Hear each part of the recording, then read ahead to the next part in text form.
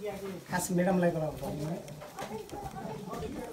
A, नमस्कार म यमबहादुर विश्वकर्मा।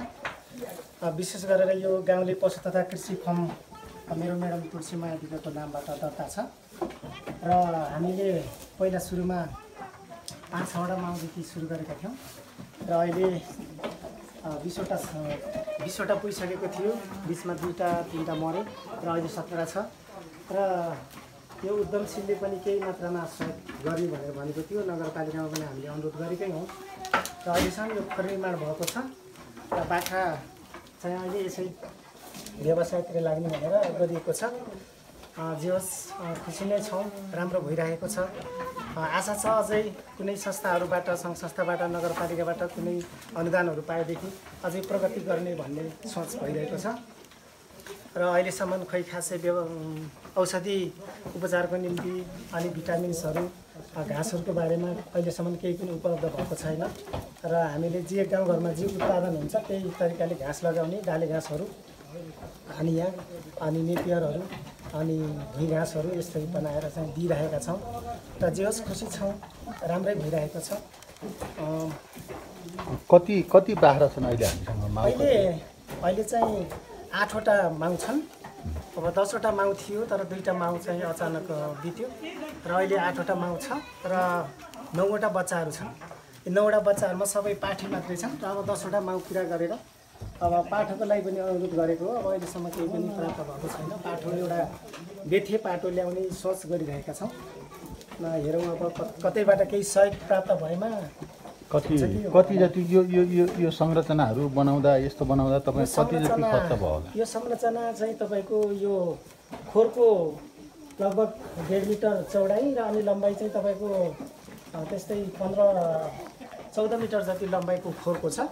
र यहाँ पुरै एरिया यो टोटल एरिया यो बाख्राको लागि मात्रै सत्ताइस फुट लम्बाइ र चौबिस फुट चौडाइको एरिया छ। र यो चाङको लम्बाइ तपाईँको बाह्र फुट एकातिरबाट र बाह्र फुट अर्कोतिरबाट गर्दा चौबिस फुट यो चाहिँ छ। र चाङको उचाइ चालिस सेन्टी र बसाइ यो बाख्रा बसाइको लागि हामीले एक मिटर दुई सेन्टीको फरकमा चाहिँ राखेका छौँ। दिनदिनै सफा गरिन्छ पानी दिइन्छ दाना दिइन्छ यस्तै छ के छ यसको टोटल खर्च चाहिँ कति भयो र यो यो लगानी खर्च गर्दाखेरि टोटली यो गोठभित्रै बनाइयो तर तलदेखि यो जमिन थिएन र तलबाट उठाउँदाखेरिमा कम्तीमा पनि चार लाख चाहिँ लाग्यो तलबाट यो अरू त उठाए बाहेकको यो अरूको लागि कति? लगभग चार लाख उठाएदेखि सहित उठाएको अनि छानो यताउता यो काट्नु गराउँदाखेरिमा चार लाख। अनि के छ? आम्दानी के छ? कस्तो? आम्दानी अहिलेसम्म केही पनि भएको छैन। अब हेरौँ यो पाटापाटी बेचेर? सुरु गरेको लगभग एक डेढ वर्ष जति भयो। आम्दानीको रूपमा तपाईँको एक वर्षमा टोटली गर्दाखेरिमा लगभग एक बिस जति त्यस्तै आम्दानी एक बिस जति हुन्छ।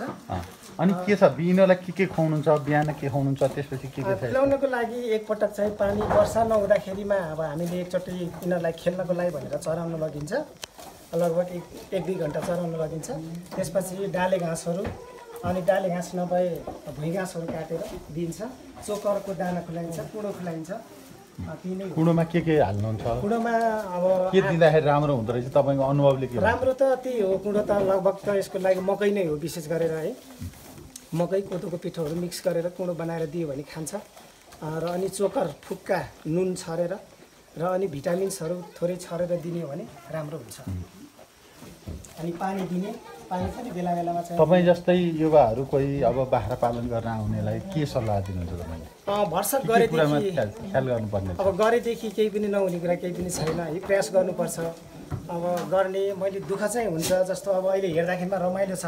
तर गर्ने मान्छेलाई कति गाह्रो छ भन्ने कुरो त आफूलाई मात्रै थाहा छ है। सरसफाइ बिहान साँझै सफा गर्नुपर्छ। यिनीहरूलाई चाहिँ लड्यो कि के भयो कसो भयो सबै कुरा बिरामी हुन्छ। आदि इत्यादि दुःख त छ है। हेर्दाखेरिमा रमाइलो मात्रै हो तर गर्नु चाहिँ गाह्रो छ। तर गरेपछि केही पनि नहुने केही पनि छैन सजिलै छ। गर्नुपर्छ गरेपछि केही पनि हुँदैन। गर्नु चाहिँ एकदम ठिक छ। गरेपछि त्यो एकदमै सजिलो छ।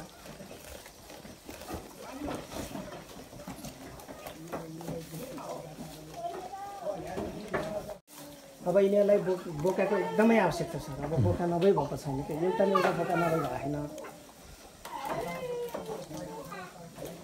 अत्यन्त राम्रो गर्नुभएको छ। यो चाहिँ तलबाट एक मिटर हजुर एक मिटर राख्नु भएको छ, डुड- खस्ने यो टाढ राख्ने ठाउँ भने माथि चाहिँ पाँच फिटको हाराहारीमा राख्नु भएको छ। काठै काठले बनाउनु भएको छ एकदम न्यानो छ। अलिकति भेन्टिलेसनको सुविधा कम छ भन्ने हो। तर बाख्रालाई न्यानो चाहिन्छ। न्यानो चाहिन्छ। बाख्रा यो चाहिँ हामी एकदम उचाइमा पनि छौँ त्यो कारणले पनि उम्, यो चाहिँ न्यानो चाहिन्छ बाख्रालाई। र त्यहाँदेखि यो डाले घाँसहरू माथि राखिन्छ सर धुलो घाँसहरू तल्लो ठाउँमा यस्तो राख्यो भने बसेर खान्छ। यसको पनि केही भनिदिनुहुन्छ अलिकति यो कति हाइटमा छ के छ? सर यो तपाईँको यो उचाइ यो चाङको उचाइ चाहिँ यो चालिस सेन्टी हो। त्योभन्दा माथिपट्टि तपाईँको फेरि चालिसै सेन्टीमा हामीले तल्लो डुँड मतलब धुलो धुलो घाँस हाल्नको लागि धुलो घाँसहरू खसेको घाँसहरू हजुर दुई ठाउँ छ। यो छ। अनि योभन्दा माथिपट्टि तपाईँको यो लगभग चालिस सेन्टीको हो चालिस सेन्टीको चाहिँ यो डाले घाँस राख्ने हो। बाख्राले माथिबाट यसरी छिरेर खान नसकोस् भन्ने हो। अनि तलैबाट चाहिँ खिच्ने त्यस्तो किसिमको बनाउने ल एकदमै राम्रो गर्नुभएको छ। यसलाई एकचोटि माटे जुकाको औषधि। एकचोटि गरौँ। एकचोटि अब फेरि माटे चुकाको औषध पनि अस्ति भर्खरै खुलाइयो अँ, ल राम्रो छ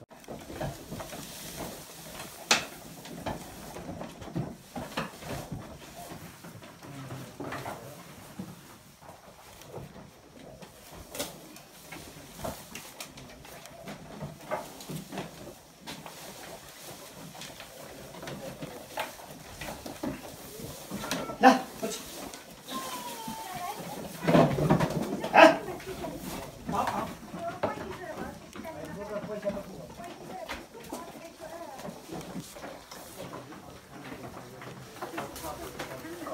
अरू बेला खाइन्छ